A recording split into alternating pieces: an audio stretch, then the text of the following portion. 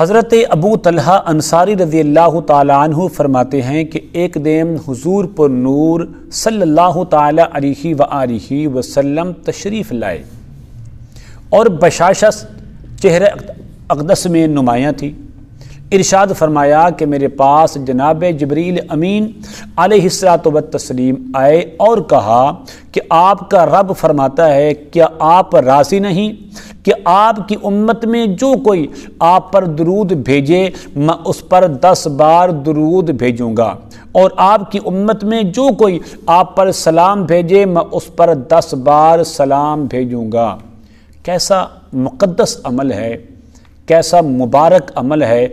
आप एक बार दरूद पाक पढ़ें तो रब ताला आप पर दस बार आप एक बार हुजूर की ज़ात मुक़दस पर सलाम भेजें तो अल्लाह तबारक व आप पर दस बाद सलाम भेजें। तो हमें ज़्यादा से ज़्यादा दरुद पाक पढ़ना चाहिए। अब्दुल्ला बिन मसूद रदी अल्लाह तु से रिवायत है, नबी करीम रऊफ़ुररहीम अलसरत व तस्लीम का फरमान आरिशान है, क़्यामत के दिन मुझसे सब लोगों में ज़्यादा करीब वो होगा कि जिसने सबसे ज़्यादा मुझ पर दरूद भेजा होगा।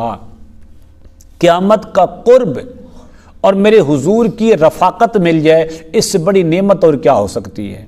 हमने चलते, फिरते, उठते, बैठते, हुजूर का ज़िक्र भी करना है और हुजूर की ज़ात गिरामी पर दरुद सलाम के नजराने पेश करने हैं।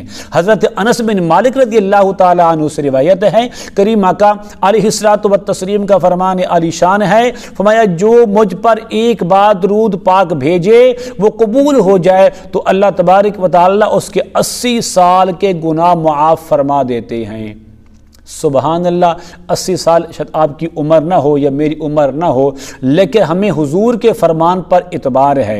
हमें हुजूर के फरमान पर यकीन कामिल है कि अगर हम खलूस नीयत से एक बार पढ़ें, सल्लल्लाहु अला मुहम्मद, सल्लल्लाहु अलैहि व आलिहि वसल्लम तो एक बार खलूस नीयत से पढ़ा हुआ ये इंसान के अस्सी साल के गुनाहों को मुआफ़ फरमा देता है।